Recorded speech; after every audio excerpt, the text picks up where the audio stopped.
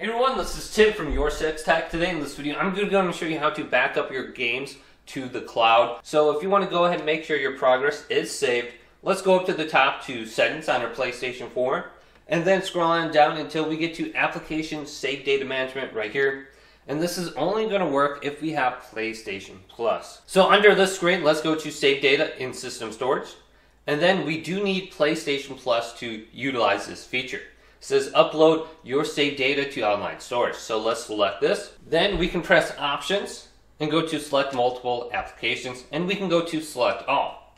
And we have everything selected under here.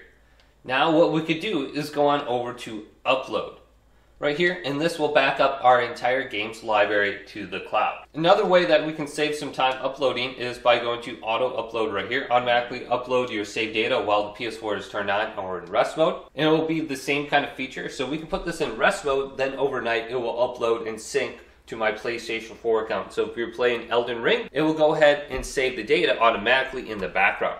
So just make sure it's checkmarked on the top. And then all the games under here are checkmarked as well. So you can manually update and back up everything to the cloud or you can automatically do it. So hopefully this video did indeed help you out. If it did, leave it a big thumbs up. And subscribe to my channel down below for more tech technical videos coming up next on Your Six Tech.